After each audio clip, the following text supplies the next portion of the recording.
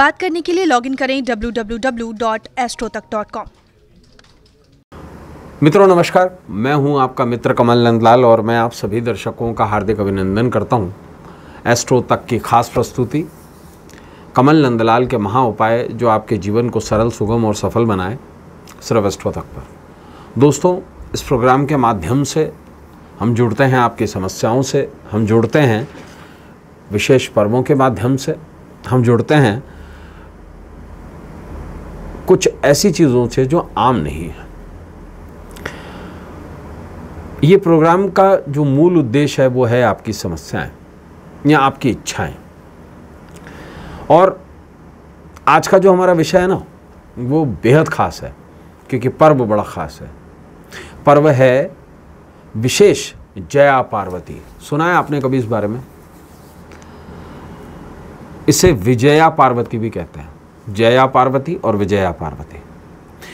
ये देवी का वो स्वरूप है जिसमें जया और विजया, ये दोनों देवी की संगनी देवी देवी के साथ रहती हैं।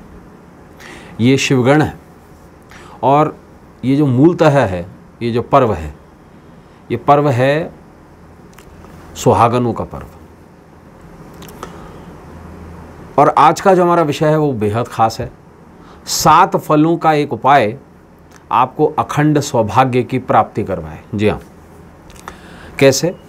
देखिए, आषाढ़ मास के शुक्ल पक्ष की त्रयोदशी तिथि पर उदया त्रयोदशी तिथि पर देवी पार्वती को प्रसन्न करने के लिए जया पार्वती और विजया पार्वती पर्व बनाया जाता है। इस पर व्रत भी रखा जाता है।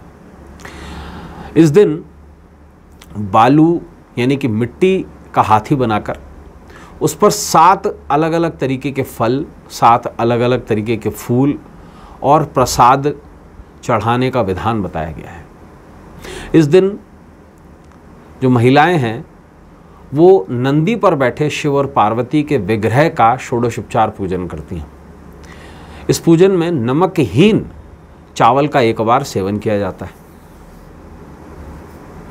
विजया पार्वती का महात्मा भगवान विष्णु ने लक्ष्मी को बताया था। जया पार्वती या विजया पार्वती के विधिवत पूजन से स्त्रियों को अखंड सौभाग्य की प्राप्ति होती है। और इच्छित वर मिलता है और उनके सुहाग की रक्षा होती है। मूलतः ये जो पर्व है, ये सुहागनों का पर्व है। कैसे करें? छोटा सा पूजन और कैसे उपाय करें? देखिए प्रदोष काल में, मंगलवार के दिन, शिवालय में देवी पार्वती का पूजन करें। ये जो पर्व है, ये मंगलवार का पर्व दिन पड़ेगा और ये जो पर्व है, ये 12 जुलाई का पर्व है।